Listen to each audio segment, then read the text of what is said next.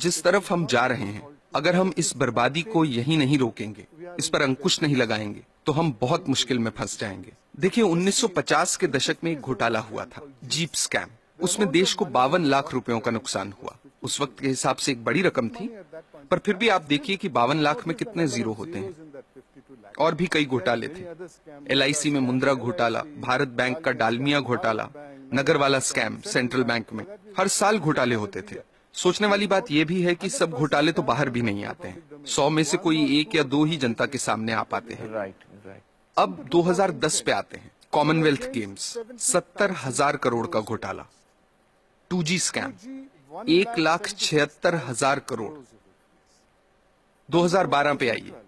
Colgate घोटाला एक लाख छियासी हज़ार करोड़। अगर एक लाख छियासी हज़ार करोड़ रुपए का एक घोटाला होता है तो देश की अर्थव्यवस्था पर क्या असर होगा? आप अंदाज़ा लगा सकते हैं। उन्नीस सौ सतासी में देश के प्रधानमंत्री ने क्या कहा था वो याद कीजिए। स्वर्गीय राजीव गांधी ने कहा था कि सरकार एक रुपया गरीबों के लिए खर्चती है तो उसमें से सिर्फ़ पंद्रह पैसे ही उन तक पहुँचते हैं। कुछ वक्त पहले कर्नाटक में हमने पढ़ा कि गरीबों को एक रुपए किलो चावल देने की घोषणा हुई है, जिसके लिए सरकार एक मोटी रकम खर्च कर रही है।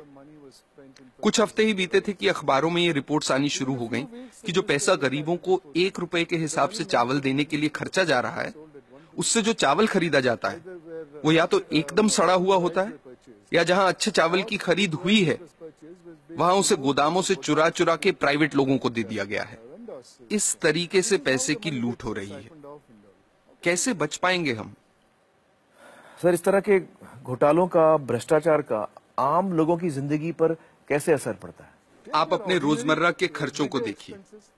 पिछले साल के मुकाबले इस साल कितनी महँगाई है? क्योंकि जो पैसा देश के विकास के लिए रखा गया है, जिसे देश की प्रगति के लिए इस्तेमाल में लाना चाहिए, वो पैसा पिचासी फ़ीसदी चुरा लिया जाता है। देश के प्रधानमंत्री ने कहा था, मैं नहीं कह रहा, मेरे अंदाजे से तो अगर 1988 में एक रुपए में पंद्रह पैसे ही सही जगह पर पहुँचते थे तो आज पाँच रुपयों में से पंद्रह पैसे पहुँचेंगे। ये हो रही है हमारी तरक्की। हम लोग, आप आप हेल्थ केयर को लीजिए। सरकारी अस्पतालों को काफ़ी नज़दीक से मैंने देखा है कि वहाँ क्या हो रहा है। मैं आपको एक मिसाल देता हूँ। 2010 में एक गाँव की महिला डिलीवरी के लिए सरकारी अस्पताल आई। उससे पैसे मांगे गए। उसके पास पैसे नहीं थे। अस्पताल ने साफ़ इनकार कर दिया। महिला के साथ जो व्यक्ति था, वो पैसों का इंतज़ाम करने गाँव भागा। फिर अस्पताल वालों ने महिला को कहा कि यहाँ मत बैठो।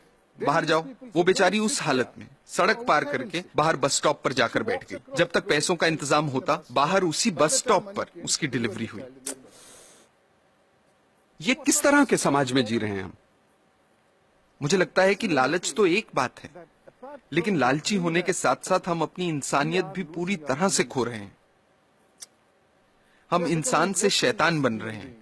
हमें इस बात से कोई फ़र्क नहीं पड़ रहा कि दूसरे लोगों के साथ क्या हो रहा है। हर जगह हर डिपार्टमेंट का यही हाल है।